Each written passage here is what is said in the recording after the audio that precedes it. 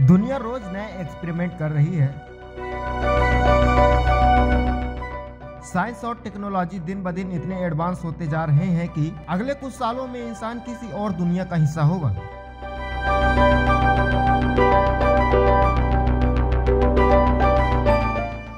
आज बात हम ऐसे ही प्रोजेक्ट के बारे में करेंगे जो फ्यूचर में दुनिया को एक नई पहचान देने वाले हैं। पहला प्रोजेक्ट न्यूक्लियर फ्यूजन।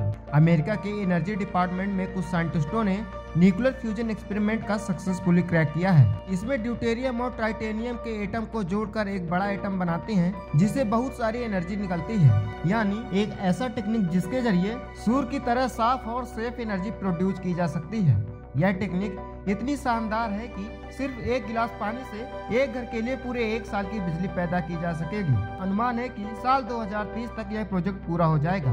दूसरा project, the line city. Saudi Arab शीशों की दीवारों को बीच बसा एक अनोखा शहर बनाने जा रहा है। जिसकी लंबाई 170 किलोमीटर होगी, लेकिन चौड़ाई महज 200 मीटर। ना कार होगी, ना कोई सड़क। चारों तरफ़ बस फ्रेश एयर सब कुछ न्यूरेबल एनर्जी पर बेस होगा। मौसम की बात करें तो साल भर एक जैसा मौसम बना रहेगा। सऊदी अरब के crowd prince Mohammed bin Salman का दावा है कि यह शहर दुनिया के लिए भविष्य का ब्लू साबित होगा।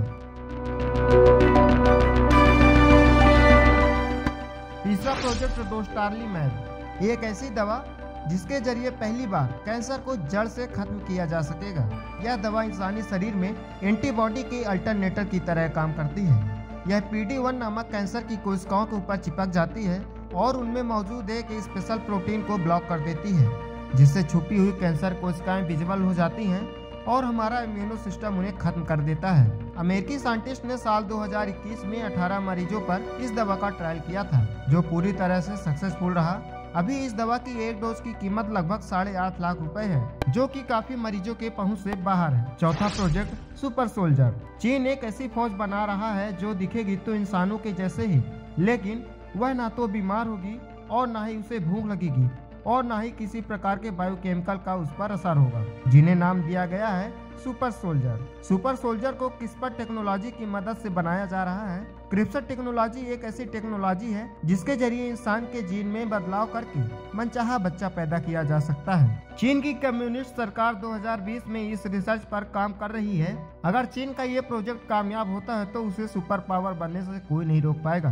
पांचवा project DART spacecraft NASA ऐसा स्पेस क्राफ्ट तैयार कर रहा है जिनके ज़रिए खतरा बनने वाले स्टेरॉइड से धरती को बचाया जा सकेगा। यह स्पेस क्राफ्ट धरती की ओर आने वाले स्टेरॉइड से टकराकर उनकी दिशा बदल देंगे। इसके लिए 26 सितंबर 2022 को नासा ने अपने पहले डार्ट स्पेसक्राफ्ट यानी डबल स्टेरॉइड रिडायरेक्शन टेस्ट का ट्रायल किया। साल 2023 में पता चलेगा कि नासा का यह टेस्ट कितना सक्सेसफुल रहा? इसके अलावा बेबी पॉड मशीन से बच्चे पैदा करना सेंड बैटरी से एनर्जी प्रोडक्शन और चाँद पर मिनरल्स की खोज, जैसे प्रोजेक्ट पर भी काम जारी है। तो इस तरह फ्यूचर में दुनिया का एक नया और एडवांस रूप देखने को मिलेगा। और भी इसी प्रकार की वीडियो से जुड़े रहने के लिए बने रहे द खबरदार न्यूज़ के साथ। चैनल को सब्सक्राइब करें शेयर करें। धन्यवाद।